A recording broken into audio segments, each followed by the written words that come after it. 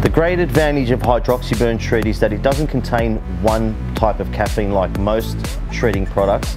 It contains three different types of caffeine. They've put caffeine anhydrous, which is a dehydrated, very aggressive type of caffeine that kicks in as soon as you walk into the gym. It's got caffeine in the form of guarana and caffeine in the form of green tea. Now the advantage of that is that you've got the quick release of caffeine and quick release of energy in that, that boost and that tunnel vision when you first walk into the gym and you've got a slow release, sustained leaving of the bloodstream of caffeine.